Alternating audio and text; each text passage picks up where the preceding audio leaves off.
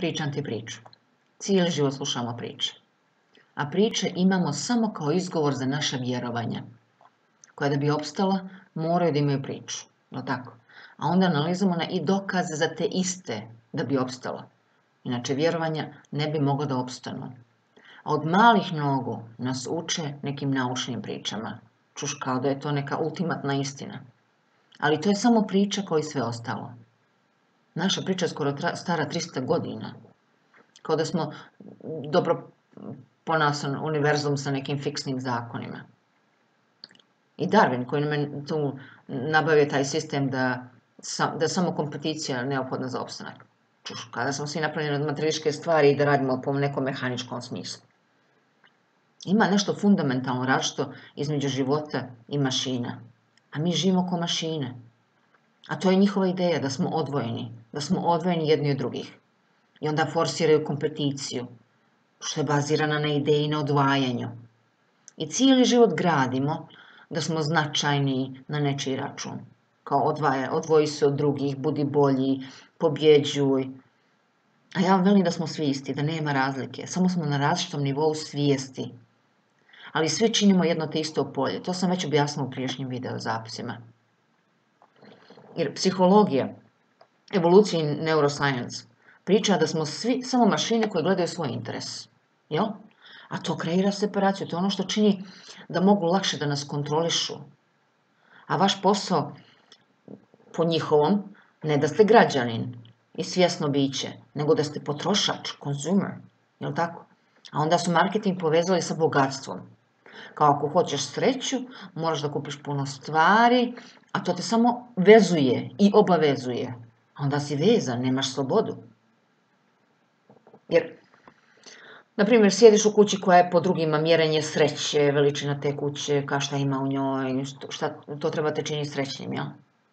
A istina je da ako si usamljen u planini, da si nesrećen, jel?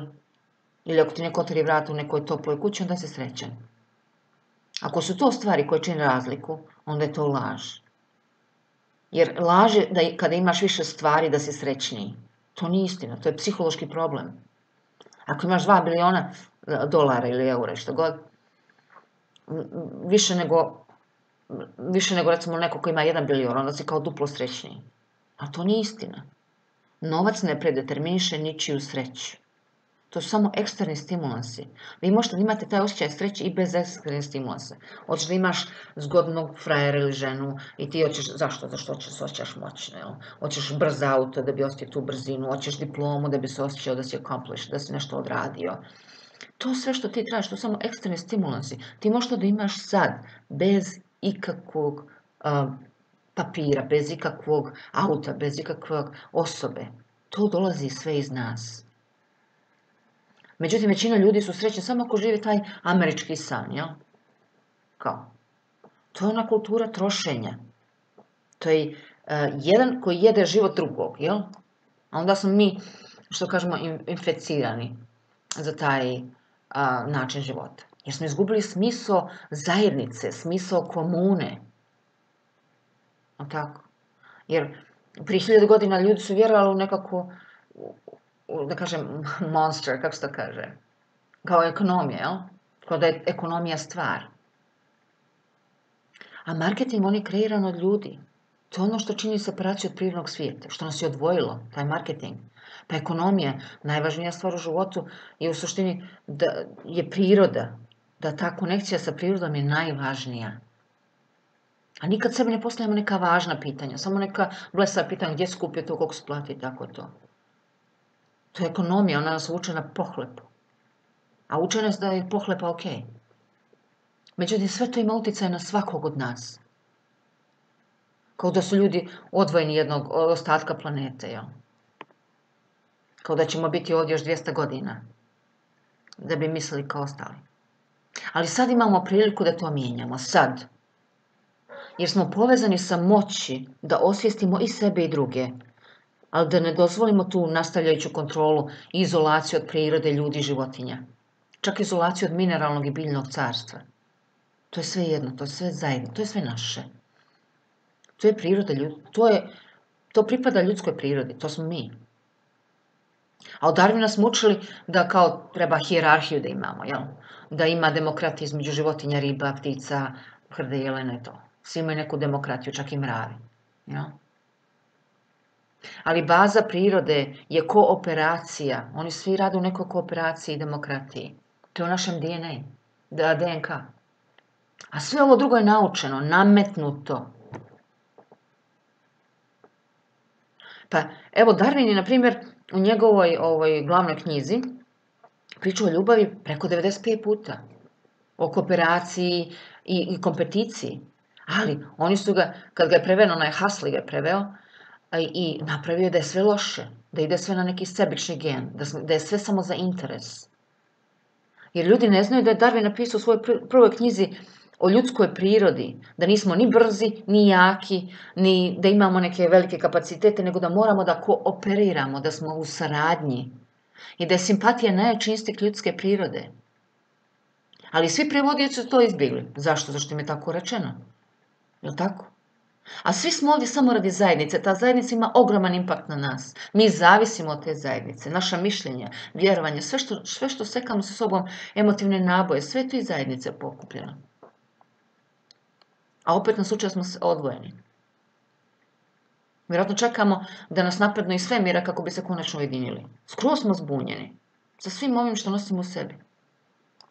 Jer činjeničko znanje, e, činjeničko znanje, činjenička situacija je da ne bi znali da učimo, ne bi znali da hodamo, da nema drugih. Jer bukvalno zavisimo kompletno od drugih dok smo mali. A od njih treba da učimo da smo humani. Isto tako i prihvaćanjem, mi smo prihvatili puno njihovih tuđih vjerovanja. Ubacujemo sebe u tuđe vjerovanja koja su često oštećena. Sve što učimo od drugih ljudskih bića, treba da učimo da smo ljudi. A učimo od ljudi koji su već oštećeni.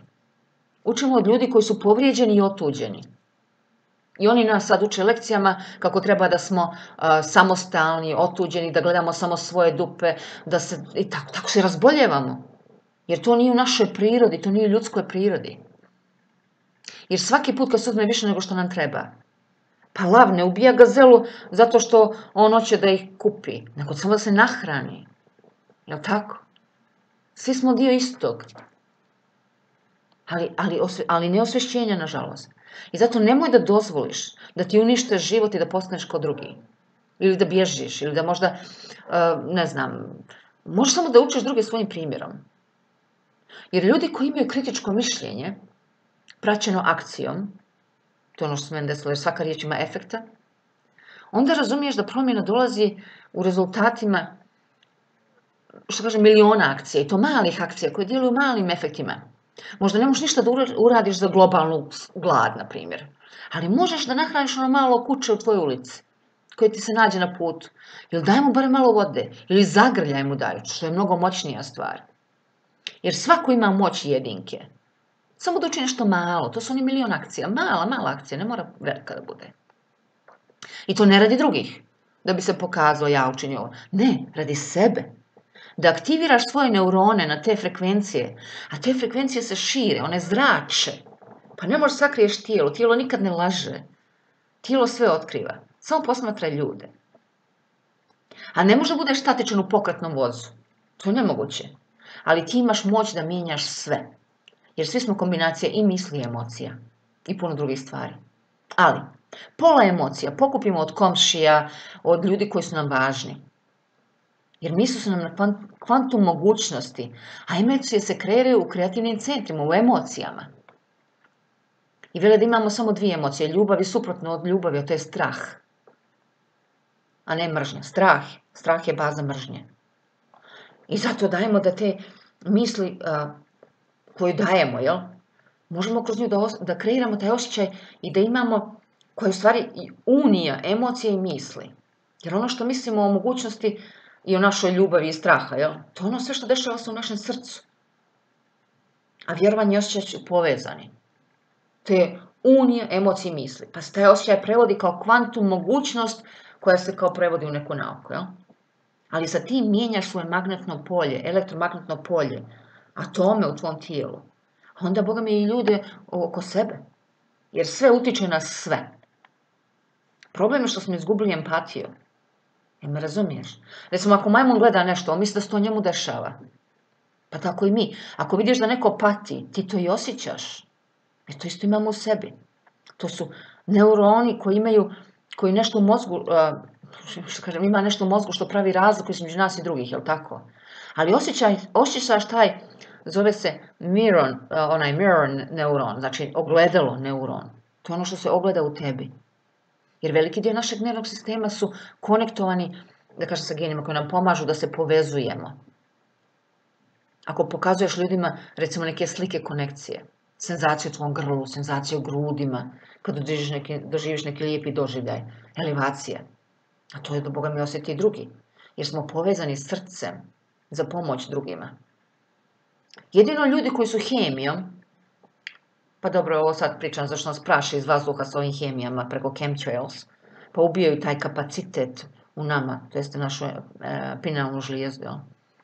I ovaj, sjeću još nešto imamo tu, ovaj, što nas konektuje kao zajednicu. Jer žele da se izolimo, da patimo. Kako bi se drugi hranili tom energijom i kako bi mogli lakše da nas kontrolišu. Ali svi smo povezani na kvantum nivou. Vaša ćelija izgleda kao univerzum. Ali bukvalno kao univerzum vi imate preko 50 trilijona ćelija u tijelu. Svaka je za sebe odvojena, ali svi one čine jedno tijelo, to ste vi. Isto tako i mi. Mi svi činimo jedno veliko, veliko, jedan veliki univerzum, globalnu svijest. A model gdje veli da treba da voliš više. A sad ću da vam objasnim zašto je taj što mi smatramo neprijatelj dobar za nas. Pa taj naš neprijatelj, on je nečiji najbolji prijatelj. No tako, svi imamo i dobro i loše u sebi. Samo razliku u čemu se ogledamo. No tako. Evo, na primjer, tragično je kad sjediš recimo u meditaciji, joge ili tako nešto, jel? onda si u sinhronizaciji sa svim u tvojoj sobi. Super se osjećaš, divno ti je, širiš tu energiju, jel? a onda izađeš na ulicu pa se osjećaš odvojeno. Zašto? Zašto reflektuješ isto druge koji se osjećaju odvojeno. Jer 99% nerava dolazi iz tijela u mozak, umjesto su ga učili iz mozga u tijelo. U realnosti vaše srce daje više informacije nego mozak. A imate taj otkucaj srca. Izgleda da ta pauza u mjerenju ima registrovanu emociju. Jer pozitivno stanje je zdravo, ono nas regeneriše, ono regeneriše našu fiziologiju. Jer mi sve radimo to s razlogom. To je primarno stanje. Sve drugo je otrov. A mi gajimo te otrove. Pa onda ne možemo da mislimo, razmišljamo jasno. Jer smo u kutiji puni otrova. Onda nas ljutnja, onda nas čini da smo zakočeni, da, da se osjećamo glupo. Jel? Međutim, kad ste u pozitivnom, onda ste na bolje perform, performansi, jel? I bolje funkcionišete nego kad ste u stanju separacije. U svakoj kulturi srce je centar svega, jedno kod nas nije. Kod nas je kao mozak, jel? Jer srce generiše jače polje nego mozak.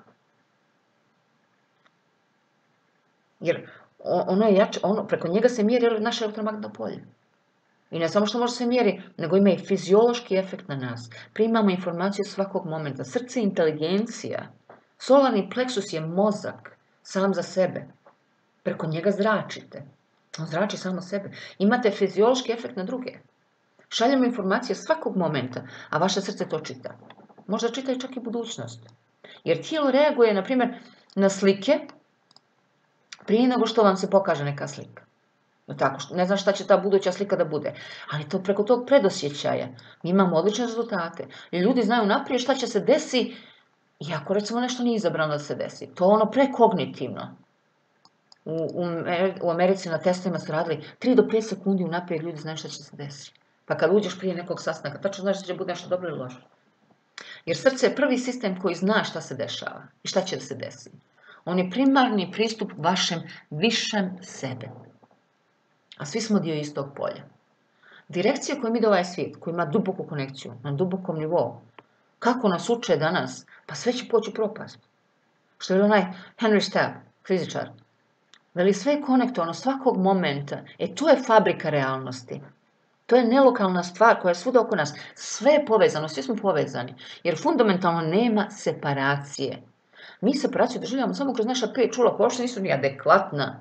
To ono što sam rekla ranije. Imamo preko dva, koliko, 20 do 24 frame u sekundi preko oči, možemo da registramo. A svako nas, to je svaka ćelija naša, ovdje dođe brzinom svjetlosti, što je 300.000 puta. Poporedi sa 300.000 sa 20. Pa ne možeš. Pa nema šanse. Međutim, ljudska emocija ima utjecaj na materiju ispred nas. Tako da svaki eksperiment, on nije validan, jer on ima utjecaj onoga koga nadgleda, naučnika, tako. Znači, ako gledaš bilo šta dovoljno i šalješ svoje emocije, ti utječeš na to. Ali ne mislima, nego emocijama. I onda ta materija ispred tebe e, se tako i ponaša. Isto tako u braku. Što god da šalješ svom partneru, to se projektuje na njih. I tvoji strahovi i tvoje želje. Sve. Preko emocija.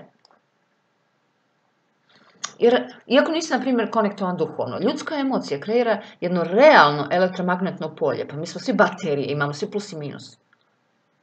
A druga ljudska bića su povezana sa tim našim poljima i oni reaguju na njih. I tako svi utječemo jedne druge, preko srca i misli. Jer mi smo, što kažu oni, random generatori.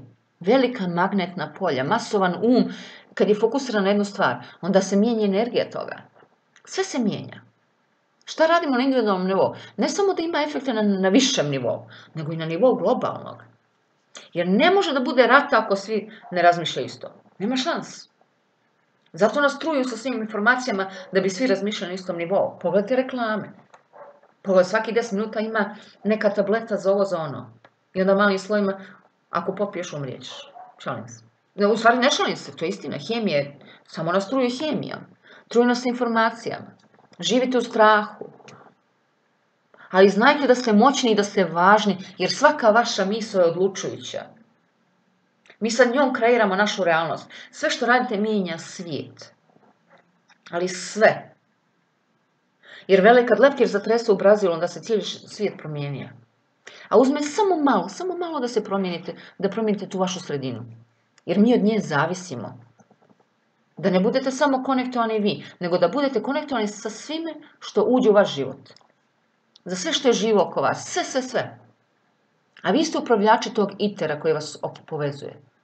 Argon, ti možda izračunaš koliko argona udahneš svaki udah. Možda kalkulišeš i koliko udaha uzmeš, jel? Jer svaki udah ima milijone argona koji su bili i u dinosaurusima i hipokratima, gdje god. I bilo sa kim, mi smo konektovani argonom preko vremena i vazduha. Što znači, sve je tu. Jer cijeli život je u stvari biološki rođak, ljudski gen. On je identičan našim priješnjim predacima. Jel? Znači, gradimo svjesnost da je svjesno uotilo dovoljno ljudi da svi reaguju na nju. A samo našim primjerom možete to da mijenjate, da utječete na drugi. E tako se popravljaju stvari. Sa ličnim primjerom, sa našom novom definicijom sebe, da smo moćni, da imamo kapacitet da mijenjamo i sebe i druge. To jeste sredinu našu. Pod jedan kognitivno, dva energetski, tri duhovno. Oslobađanjem tih blokada, zabrana, svega toga što smo pokupili, što nije naše. Ne šta dobijamo od drugih, nego šta dobijamo od sebe. Shvatite percepciju, jer kad shvatite svoju moć, vaše svakodnevne akcije, i one male akcije, male, male, najmanje, koje vas grade, one čine veličinu čovjeka i to mijenja sredinu. Jer primjerom se čini sve. Kad napravite balans i kad ste u sinhronizaciji sa sobom i svakim oko vas, ma vi ste i bolji, produktivniji i jači. Jer ideja akumulacije privatne moći, on, ona daje moć. Ne kroz materijalno, nego duhovno, kognitivno, energetski. Jer to je ono što vam da kompletnost, to je ono što nos, to je ta energija, akcija koja nosi. Vi imate tu moć, to je sve u vama. Moje samo da vam ukažem na nešto što ste zaboravili, da osvijestite istinu, da ste to vi.